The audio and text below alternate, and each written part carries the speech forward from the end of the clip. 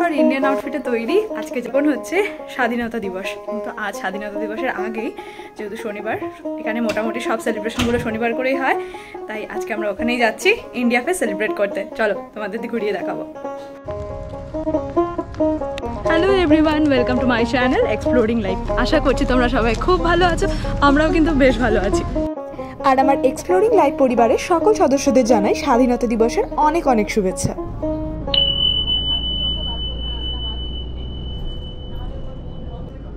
India ফেস্টের আয়োজন করা হয়েছে সেন্ট পলসে, আমরা এখন সেখানেই যাচ্ছি।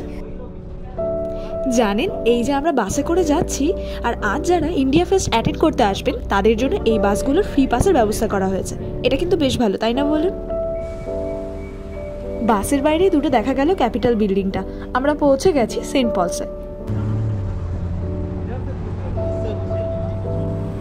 বাস আমাদের নামিয়ে দিয়ে চলে গেল। আমরা এবারে রাস্তাটা ক্রস করে ওপারে চলে যাব।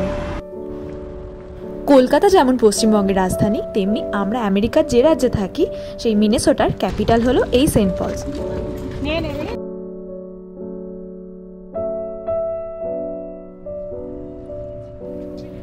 এই যে, এই ক্যাপিটাল বিল্ডিং এর সামনেই স্টেট ক্যাপিটাল গ্রাউন্ডে আজ হচ্ছে ভারতীয়দের স্বাধীনতা দিবস উদযাপন বা ইন্ডিয়া ফেস্ট সেলিব্রেশন। ক্যাপিটাল বিল্ডিংটা দেখতে অনেকটা আমাদের কলকাতার ভিক্টোরিয়া মেমোরিয়াল হলের মতো, তাই না বলুন? আমি তো অভিষেককে বলছিলাম, ওপরে শুধু পরিটাই নেই। ইন্ডিয়া ফেস্ট সেলিব্রেশন শুরু হয়েছে সকাল এগারোটা থেকে। চলবে রাত নটা পর্যন্ত। আজ কত মানুষ সমবেত হয়েছে দেখছেন? আর এখানে দেখুন, ছোট বাচ্চাদের জন্য রাইডসও এসেছে। সামনের এই মঞ্চে চলছিল সাংস্কৃতিক অনুষ্ঠান। তার সামনে আবার বসার ব্যবস্থাও করে দেওয়া। ইতিমধ্যে তা কিন্তু একেবারেই ফুল ছিল। এক এক করে বিভিন্ন রাজ্যের শিল্পীরা পারফর্ম করছিল স্টেজে কিছুক্ষণ দাঁড়িয়ে সেই অনুষ্ঠানে উপভোগ করলাম। দাঁড়িয়ে দাঁড়িয়ে কত দিন পর দেশের নৃত্য সামনাসামনি দেখতে পেলাম। কখনো কি কল্পনা করেছিলাম এভাবে দেশের বাইরে, বিদেশের মাটিতে বসে এমন সুন্দর সাংস্কৃতিক অনুষ্ঠান দেখতে পাবো? আমরা আরও খানিক্ষণ দাঁড়িয়ে দক্ষিণ ভারতীয় ঘরানার নৃত্য পরিবেশন উপভোগ করলাম।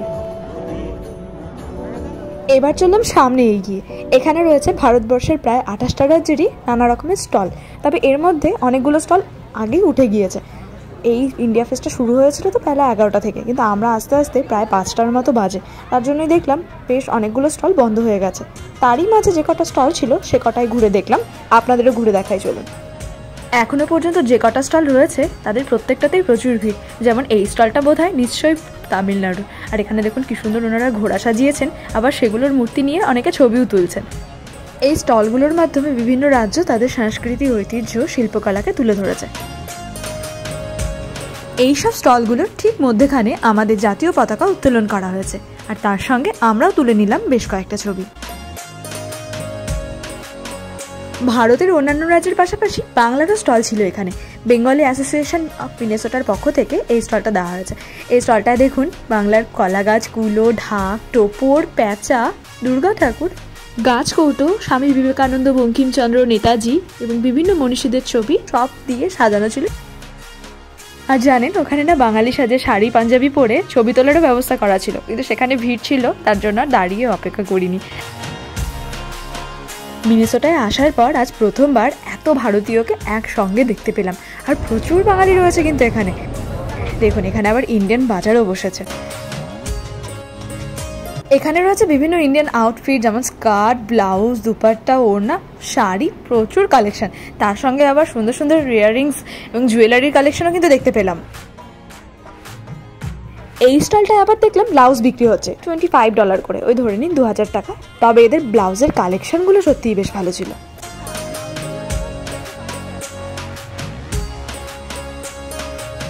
আজ যে এত মানুষ এসেছে, দেখছেন, সবাই কিন্তু বেশিরভাগ ইন্ডিয়ান আউটফিটেই রয়েছে।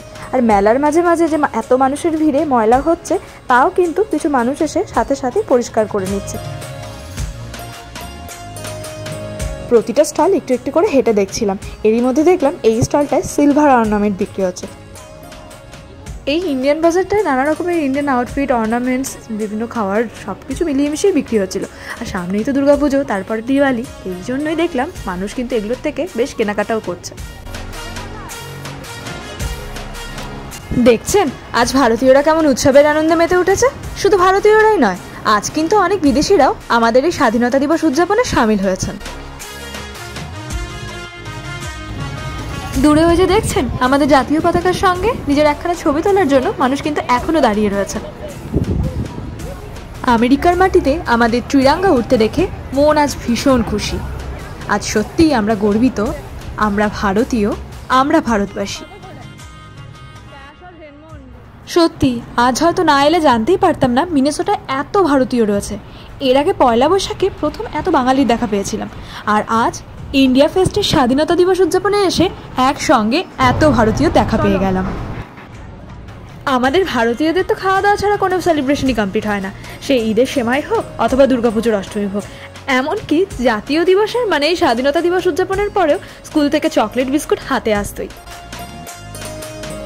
ইন্ডিয়ান বাজার জিনিসপত্র কেনাকাটা স্টলগুলো তো অনেক ঘোরা হলো তবে এবার চলুন খাবার স্টল আর ফুড ট্রাকগুলো থেকে একটু ঘুরে আসি। আজ সত্যিই দেখুন মানুষ কেমন উৎসবের মেজাজে। সবাই বন্ধু বান্ধব আত্মীয় স্বজন একত্রে যেন দিনটা সেলিব্রেট করছে। খাবারের গন্ধ হচ্ছে। একটু দাঁড়া। এখন খেলে আমার পেট ভরে যাবে।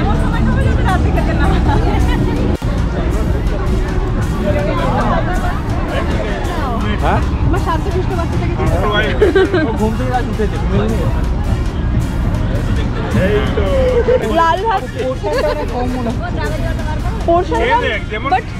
খাবারের স্টলগুলো পরপর সব এদিকটায়। আর এদিকটায় ভিড়টা যেন আরও বেশি। আর এটা দিয়েছে ওই হায়দ্রাবাদি হাউস যে একবার খেতে গিয়েছিলাম একটা বাফেটে সেই বাফেটটারই এটা একটা স্টল বিভিন্ন রাজ্যের খাবারের তো পরপর স্টল হয়েছে। তো চলুন সামনের দিকে আপনাদেরকেও একটু ঘুরে দেখিয়ে আসি কোন কোন রাজ্যে স্টল পড়েছে এখানে। এই যে এটা বোম্বের থেকে একটা স্টল ছিল বোম্বে পিৎজা কিচেন এখানে বোম্বে স্টাইলের পিৎজা বিক্রি হচ্ছিল। আবার জানেন ইন্ডিয়া ফেস্টের মেলার ভেতরেই দু তিন জায়গায় এভাবে সুগার কেন জুস মানে আখের রসও বিক্রি হচ্ছিল। তাও আবার এক গ্লাস আট ডলার করে। মানে এক গ্লাস আখের রসের দাম ছশো চল্লিশ টাকা। আর এখানে দেখুন, পাঞ্জাবি রসই এখানে পাঞ্জাবি খাওয়া দাওয়ার বিক্রি হচ্ছিল। তার সঙ্গে কিন্তু বেশ ধামাকেদার পাঞ্জাবি সঙ্গও চলছিল। এই স্টলটাতে আবার দেখো বিদেশিদেরও বেশ ভিড় পড়েছে। এখানে হায়দ্রাবাদি খাওয়ার, ওই সাউথ ইন্ডিয়ান স্টাইলের কিছু খাওয়ার বিক্রি হচ্ছিল। তারপরেটা দেখুন, ধোসা বিক্রি হচ্ছে, ওটা তো লেখাই রয়েছে। বেশ কয়েকটা স্টলে আবার পাপড়ি ফুচকার চাটও পাওয়া যাচ্ছিল।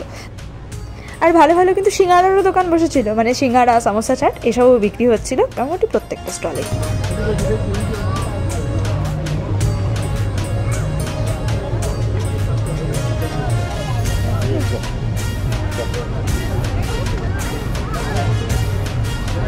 নিন। প্রায় প্রথম থেকে শেষ প্রান্ত পর্যন্ত পুরো খাওয়ারের স্টলগুলো সামনে দিয়ে ঘুরিয়ে নিলাম। এবার চলুন সামনে গিয়ে মাঠটায় বসা যাক। সেখানে সবাই বসেছে। আমরা অর্ডার করেছিলাম ধোসা, তার সঙ্গে সামোসা আর একটা ম্যাঙ্গো লাসি প্রত্যেকটা খাওয়ারই ভালো ছিল। অনেকদিন পর সাউথ ইন্ডিয়ান ধোসা, বাইরের স্টাইলে খেতে তো ভালোই লাগল। ঠিকঠাক গুলোগুলো ঠিকঠাক বানায়? আবার অনেকে কিন্তু চেয়ার টেবিলেও বসে খাচ্ছে। আবার খাওয়া দাওয়ার পাশাপাশি হাত ধোয়ার জন্য বেসিনেরও বন্দোবস্ত করা রয়েছে। শুনতে পাচ্ছেন? এখানে কিন্তু ননস্টপ হিন্দি গানও চলছে। আর সামনের এই সবুজ মাঠটা সত্যিই খুব সুন্দর। এখানে আমাদের মতো অনেকেই বসে বসে খাওয়ার এনজয় করছে। এবার আমরা খাওয়া দাওয়ার পর্ব সেরে আরও বেশ কয়েকটা স্টল ঘুরে দেখে নিই, যেগুলো আমরা আগে ঘুরিনি। এগুলোতে বেশ সুন্দর সুন্দর চুড়িদার, সালোয়ার কামিজ, শাড়ি বিক্রি হচ্ছিল। তার মধ্যে একটা সালোয়ার আমার ভীষণ পছন্দ হয়েছিল। দাম খুব একটা বেশি ছিল না, ওই চার হাজার টাকার মধ্যেই ছিল প্রায়। আর এখানে দেখুন কি সুন্দর সুন্দর ওয়াল হ্যাঙ্গিং ওয়াল পেন্টিংগুলো বিক্রি হচ্ছে। এই স্টলটাতে রয়েছে বিভিন্ন ঠাকুরের মূর্তি এবং ঠাকুরঘর সাজানোর সাজ সরঞ্জাম। স্টেট ক্যাপিটাল গ্রাউন্ডটা অনেকটাই বড়। আর প্রচুর গাছ দিয়ে ঘেরা। জায়গাটা এত সুন্দর সাজানো গোছানো। আনার কি ময়লা হয়েছে? ওই জন্যই বসবে না বোধ এদিকে এদিকে এদিকে চলো এদিকে চলো এদিকে চলো। ওই এদিকে যাব আমরা এদিকে। ওটা দিয়ে বেরোবেন এটা দিয়ে? সামনে জলের ওপরে স্ট্যাচুটা কি সুন্দর দেখুন।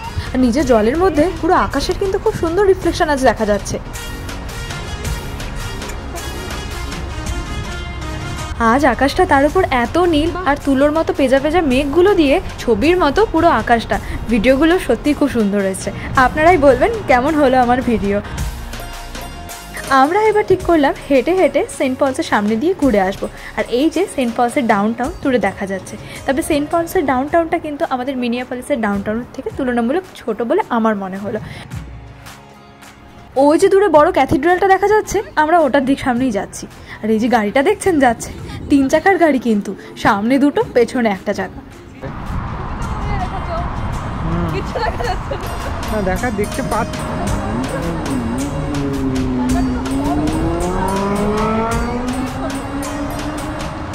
এই দেখো চেরি গাছ এটা। এটা চেরি গাছ। দেখো ছোট ছোট চেরি হয়েছে।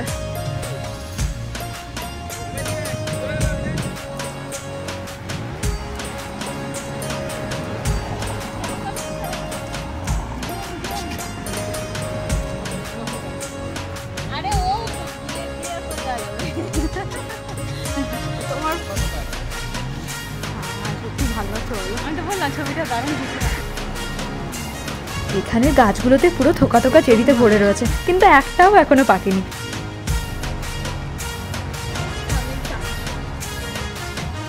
স্টেট ক্যাপিটাল গ্রাউন্ড থেকে দূরে এই চার্চটা দেখা যাচ্ছিল। এই চার্চের বিল্ডিংটাও কিন্তু বেশ সুন্দর, তার সামনের এই স্ট্যাচুটা ছিল। এই জায়গাটা থেকে আমরা ধীরে ধীরে ঘুরতে ঘুরতে ওই চার্চের সামনে এগিয়ে যাই। আজ সত্যি আমেরিকা আসার পর আমার একটা মনের বাসনা পূর্ণ হয়েছে।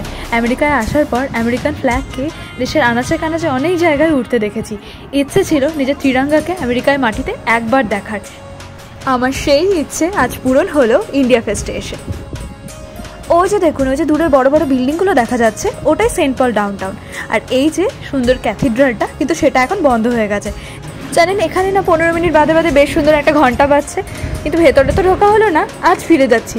ইচ্ছে থাকল পঁচিশে ডিসেম্বর এই চার্চটায় যদি পারি একবার অবশ্যই আসব। আর ল্যান্ডস্কেপটা কিন্তু সেন্ট পলসের খুব সুন্দর, পুরো সমতল নয়, একটু উঁচু নিচু ঢেউ খেলানো। এখানে দেখুন, এখান থেকে থ্রি সিক্সটি সেভেন আর সিক্সটি টু তিনটে বাস চলে। কিন্তু সিক্সটি টু এর যে ডলার লিখে ক্রস করা আছে, এর কারণ হলো সিক্সটি টু বাসটার জন্য কোনো রকম কোনো টিকিট কাটার প্রয়োজন নেই। বাস চলে এলো, ফিরে যাচ্ছি। সানায়ের সঙ্গে আমাদেরও আউটিং আজ এখানেই সমাপ্ত। আজকের ভিডিও এতটাই। কেমন লাগল আমার ভিডিও কমেন্ট করে জানাবেন।